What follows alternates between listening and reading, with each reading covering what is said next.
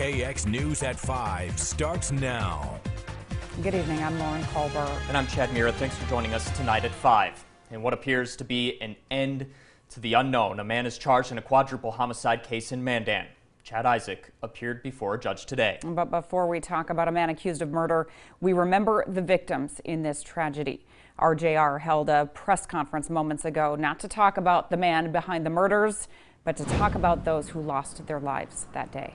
Renee Cooper was there. She joins us now with the latest. Renee. Good evening, Lauren. It was a somber scene when I walked into RJR. About 20 employees walked in together, holding each other, as one of the owners, Jackie Fakler, gave her message. Jackie Fakler's husband, Robert, was one of the victims. She describes him as an incredible husband, father, and grandfather. The employees even laughed a little as his wife described him as opinionated but constructive. She called William Cobb Pastor Cobb. Fakler says he's a true cowboy and a most dedicated employee.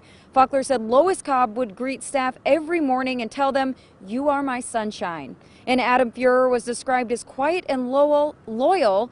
Fakler calls him a true family man. Not only did we lose an owner and irreplaceable employees, we lost sons, daughter, husbands, fathers, brothers, grandfathers, grandmother, sister, loving wife, mother, and some of our, our closest friends. Jackie's, Jackie Fakler sent her thanks to BCI and Mandan PD for their work in bringing their loved ones to justice. She asked you to continue to call Mandan PD if any information is still out there surrounding this horrific act of violence.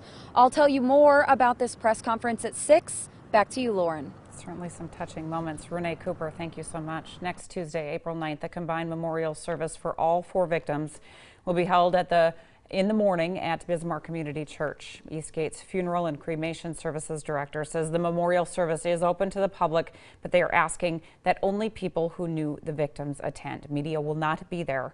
A separate private service will also be held for family members. The suspect arrested last night in connection to the